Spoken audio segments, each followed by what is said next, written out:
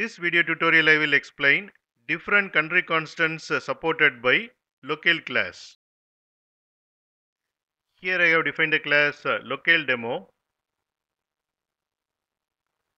Here I am accessing uh, US country constant and uh, getting uh, locale object. Here I am accessing uh, French country constant and uh, getting uh, locale object.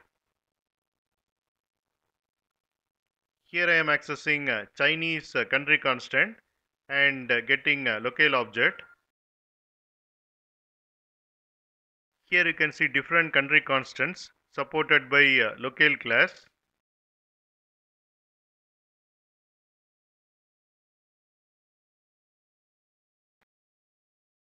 You can get uh, Java source code link for each video in the description section of the video.